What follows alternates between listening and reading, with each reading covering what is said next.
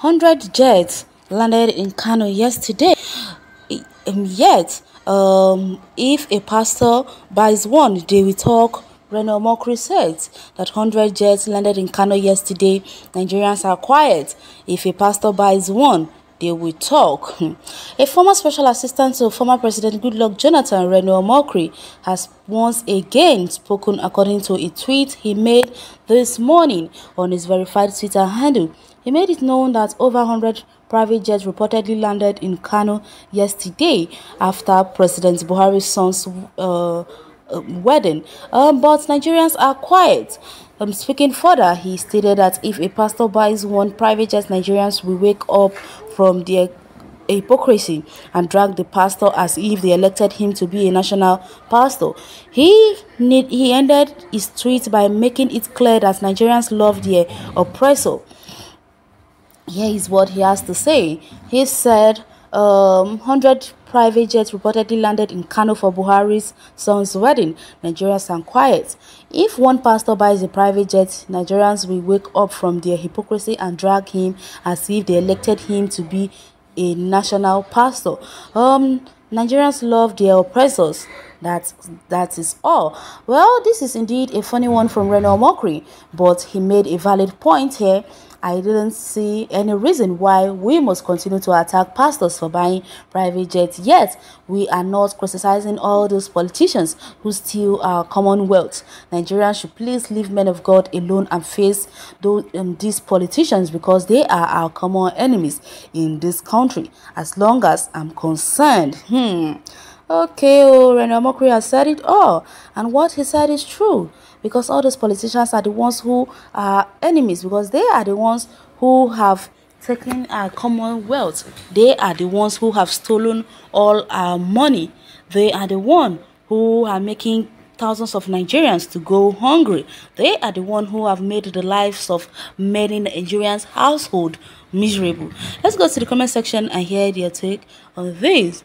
Um, are those private jets for imams? And is the church turned to a company where uh, pastors will acquire profits and buy a private jet? If pastor wants to have a private jet let him venture into business or politics because the man of god shouldn't have a private jet while their members are dying with hunger.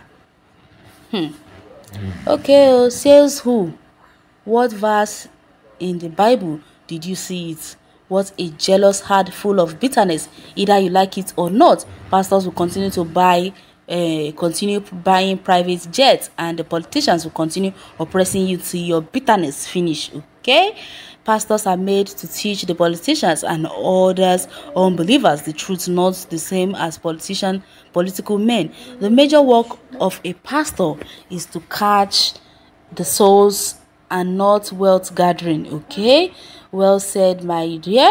Um nobody go talk now now the whole house just quiet for comments. But if na uh, pastor bring those private jets comment for don full full here now wow okay. Um this one say we know that politicians stole our money to buy private jets but where did pastors get billions of naira to buy one? Hmm. okay oh pastors and politicians are different. Jesus walked to everywhere he went, even on water. okay, so the generation of Jesus Christ is still the same generation we are, Olodo. okay, oh, someone here is saying that some people just reason like robots. This man is making vital points. Some people, when they heard any headline mentioned pastor they vomit like dog. Men of god are god's servants. Any utterance against them would be judged would be uh, accounted for. Beware. Hmm. okay oh some people here are saying in jesus time there were wealthy people in the society. Yes jesus scrambled for wealth with them. Uh how many horses donkey houses cows etc did jesus have as his own none when he needed one for his missionary work. He borrowed and returned. Hmm. Okay.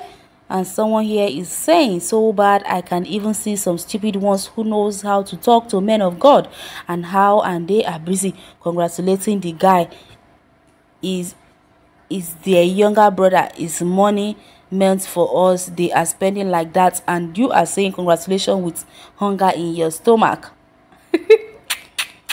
if you hate those that prosper you can never prosper. For those that think that being a pastor is simple let them try. Let's see how many person they can gather together. Hmm.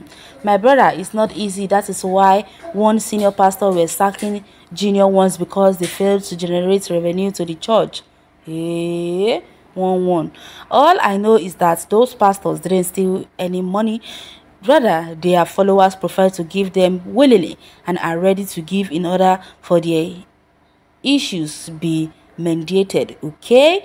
Someone here is saying, then let the pastor give all to the poor in the church and poor people that fool uh, African countries willingly as our Lord Jesus did, gave himself all everything for us, even unto died on the cross. Hmm. okay. Oh. That is why they say there is no man who could be like Jesus.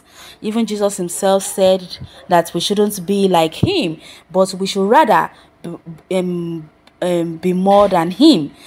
But since we can't even be like Jesus, then how can we even try to be more than Jesus? Hmm. This is business. They don't force you. Rather, you go to them and plead why they hyp hypnotize you. Eh? You make them celebrities worship uh, them because you reject Bible teaching about false prophecies, and so it's not their concern. Eh? Hmm. Moreover, Reno, can you tell me an Islamic Malan that have private jets? Because all the nonsense you are saying, you referred it to Islam. He didn't refer anything to an Islam anybody. He said thousands of private jets were la uh, landed in uh, Kano yesterday.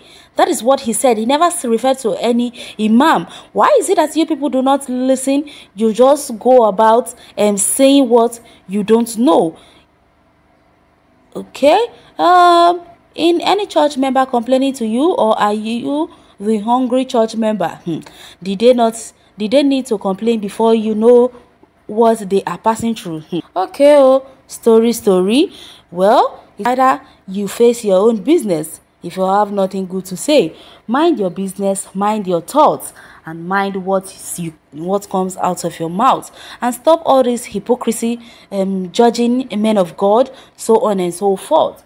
We should rather like what um the writer said we should rather um um, hate those politicians who are the ones who are making us go through the kind of things we are going through and not the innocent pastors that we should stop judging them and leave them to God for judgment. But those uh, politicians, the reason why we tackle them is because the money they are spending is our ad-end taxpayers' money. That is why we do um, grumble or talk whenever we hear any politicians uh, buying private jets. Well, you can go to the comment section and share your take on this article. Thanks for listening.